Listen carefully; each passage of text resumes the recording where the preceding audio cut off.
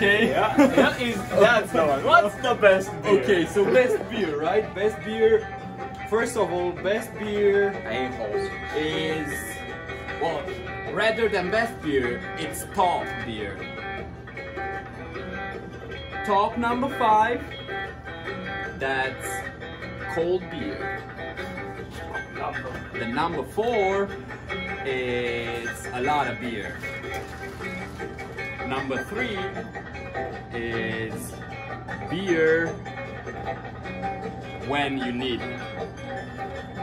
Number two is beer that you like.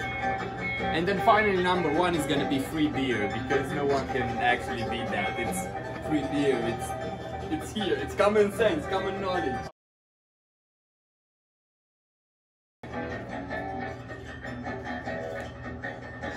There was beer. I still have that after this. I recommend this beer.